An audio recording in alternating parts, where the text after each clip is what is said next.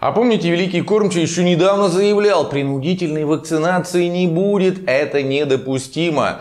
Случилось оно, я напомню, 26 мая, а всего через 20 дней, 16 июня, мы с вами дружно узнали, что началось Пока в обязательном порядке хотят прививать Москву и Московскую область, но что-то мне подсказывает, двумя этими регионами ребятишки не ограничатся. Подождите, что-то я не догоняю. Это что ж такое получается? Царь нас обманул? Никогда такого не было. И вот опять. Он же хозяин своему слову. Слово дал, слово взял. Хотя вот сейчас начинает складываться у меня в голове данный пазл точно. Он же Владимир Владимирович в смысле 16-го не в России был, а с Байденом встречался в Жене, в Женеве, поэтому скорее всего. Человек просто не знает о случившемся. Нехороший Собянин и подлый Воробьев у дедушки за спиной играют какую-то свою игру, а главнюк ни сном, ни духом. Но правильно, замуровали демоны деда в бункере, отрезали от реальной информационной картины в стране, отжишь негодяи, Уверен, вы поняли, это сарказм сейчас был, поскольку нужно быть полным идиотом, чтобы поверить, что дела обстоят именно так. Ну это же бред. Просто нас с вами в очередной раз, на... ну вы поняли, а великий геополитик еще раз продемонстрировал его слово не более чем пустой звук – Человек, который тут помню, там не помню, как барышня. С не очень высокой социальной ответственностью. Если я тебя не запомнила, значит ничего не было. Начинаем.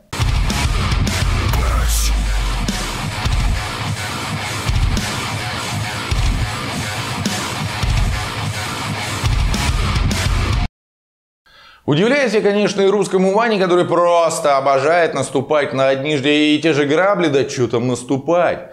Складывается ощущение, что подавляющее большинство наших соотечественников исключительно вокруг граблей ходить предпочитают. Простой пример. Давайте вспомним 2018 год, когда в Кремле носились с пресловутой пенсионной реформой, как тогда отвлекали внимание Иванушек? Да, футбик для них устроили. И пока народ, значит, пялился в ящики или пытался попасть на стадионы, чтобы посмотреть, как 22 миллионера гоняют по полю, по полю шарик, у него украли 5 лет жизни. Что происходит сегодня? Ведь не так много времени прошло. Тот же июнь за окном. Еще свежи в памяти воспоминания о прошлой подлости со стороны тех, кого мы ошибочно называем государством. Это самое государство затеяло очередную аферу теперь вот с принудительной вакцинацией. А что Ваня? А Ваня опять футбик смотрит и нет ему никакого дела до происходящего. Радость российских болельщиков выплескивается со стадиона на улице города. Первый гол и первая победа. Ага, а потом, как в 18-м, начнем растерянно удивляться. Ой, как же так получилось, а где я-то был? Когда они все это мутили, да там же, вокруг граблей гулял. И грыз кость, которую бросили тебе проходимцы, это реальная журналистика о грустном опять сегодня. Поехали! Слову, про футбик не зря вспомнил. Для наших чиновников, потому что крупные спортивные состязания это какой-то магнит, что ли. Футбол, Олимпийские игры. Все самые омерзительные гадости они предпочитают совершать именно в такие моменты. Может, действительно, у болельщика мозг перестает работать во время зрелищных мероприятий?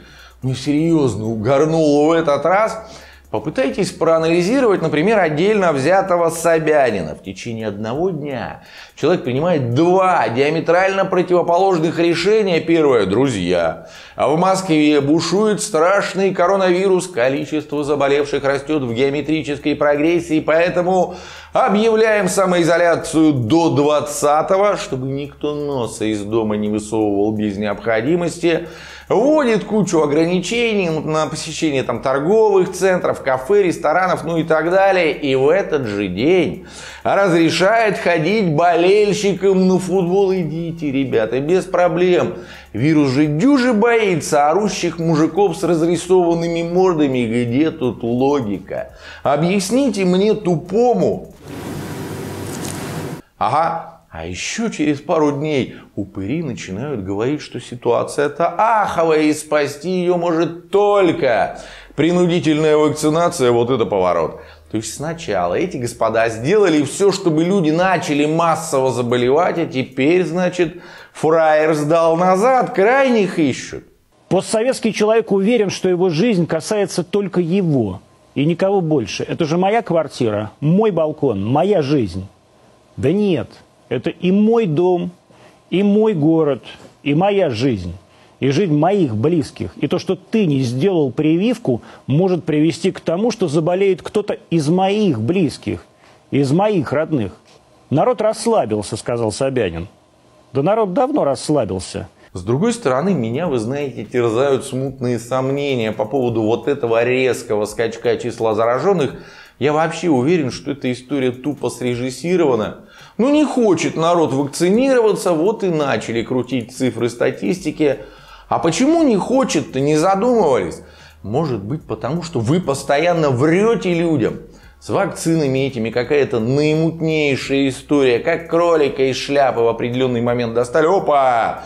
А у нас первая в мире вакцина, а вот и вторая, а вот и третья с четвертой, причем не одна и все еще нигде не зарегистрировано. По сути, они являются экспериментальными. Зато крику из каждого утюга «Идите ширяться!» И, кстати, почему людям не дают выбора? Почему не предлагают иностранные вакцины? Ну, вот тоже как вариант. Не менее мутная история с прививкой к головнику. Сначала он долго от нее отмахивался, помните? Потом сказал, ладно, уколюсь, но не публично. Чем он там кололся и кололся ли, подлинно неизвестно. Мы об этом в курсах только с его слов и со слов балаболки Пескова, но, возвращаясь к началу сегодняшней программы, у меня, вы знаете, доверия к заявлениям Кормчева уже нет. Сегодня он говорит, да, я привился, а где гарантия, что завтра не скажет, что пошутил? Вот смотрите, что происходит в европейских странах. Он в Португалии в очередной раз повышает пенсионный возраст. На этот, на этот раз до 66 лет. И в большинстве европейских стран нет разницы по срокам выхода на пенсию для мужчин и для женщин. Мы уже неоднократно заявляли, что считаем нецелесообразным повышать пенсионный возраст в России. И не будем этого делать. И потом у меня еще вот какой вопрос к этим гражданам. Прошу прощения за слово к этим. К ядросам, к их халуям-пропагандистам, к Владимиру Владимировичу, наконец. Смотрите, какая штука получается. На протяжении 21 года на каждых выборах товарищи нам рассказывают, что их поддерживает какое-то невероятное количество людей, 70-80%. Каждый соцопрос их гнилого Росстата говорит о том же, мол, царю безоговорочно доверяет почти вся страна. В 18-м 53 миллиона голосов Памфилова нарисовала президенту мира. Политику партии и правительства с их же слов тоже одобряет 9 человек из 10. Вот сейчас очередная избирательная кампания, они опять нам лапшу на уши вешают. А почему тогда привились-то по их просьбе только 8 там, или 9 миллионов человек. В чем проблема убедить население пройти вакцинацию с таким-то уровнем доверия? Или они нам опять гонят? Хотя, вы знаете, я все-таки нашел в этом и положительный момент. Дослушайте до конца и все поймете. Чисто формально, юридически, они ведь не граждан обязали прививаться, то есть не напрямую граждан, они опять пошли путем обмана и навесили это требование на чужие плечи на работодателей. Мол, вы обязаны вакцинировать своих сотрудников, если не вакцинируете штраф, и там целая линейка штрафов от 30 тысяч до 1 миллиона, совсем непослушным работодателям грозят запретом на работу организации. Для индивидуальных предпринимателей составит 50 тысяч рублей, для организаций до 300 тысяч рублей повторное нарушение могут повлечь санкции в размере до 1 миллиона рублей, либо приостановку работы почти на 3 месяца. Но у меня, тем не менее, возникло встречное предложение к предпринимателям, именно к коммерсантам обращаюсь, потому что руководители госструктур, они все бессовестные, типа Симоньян и прочих. Понимаю, что вы боитесь потерять бизнес или там проблем с бизнесом не хотите, но понимаю и другое. Многие из вас честные и порядочные люди и не горят желанием принимать участие в преступлении, ну а то, что заставить человека уколоться против его желания под угрозой увольнения, это преступление. Гадалки не ходи, да, именно поэтому чинуши переложили ответственность себя на вас. Ну так и оформите своих сотрудников как самозанятых, Пусть работают по договорам подрядов. Коммерсанту не придется брать грех на душу. Это во-первых. А во-вторых, и работодатели, и их сотрудники от такого решения лишь выиграют хотя бы в плане налогообложения. Сегодня ведь бизнесмен платит за каждого работягу 13%, верно, плюс отчисления в внебюджетные фонды и того порядка 40%. А есть сотрудник в статусе самозанятого от 4 до 6 процентов и все. Но самое главное, раз о пользе заговорили, это уже в-третьих, данное решение поможет наконец сформировать в нашей стране нормальное гражданское общество. Это ведь то, о чем и я, и мои коллеги говорили. Почему?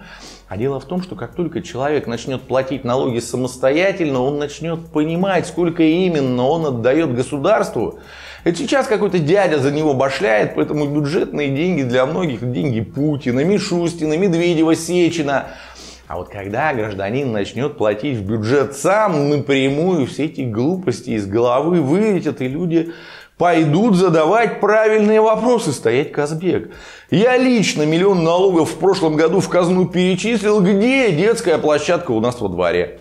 На что потратили мои деньги, за что Соловьев получает десятки миллионов – с какой радостью у мэра появилось энное количество новых квартир. Это, в общем, неплохо. А вы что думаете? Все. Это была реальная журналистика. Переваривайте лайки, репосты приветствуются. На канал подписаться не забудьте. В соцсетях тоже жду. В друзья добавляйтесь, темы предлагайте, поднимем, обсудим. А я за сим спешу откланяться пока. Пока.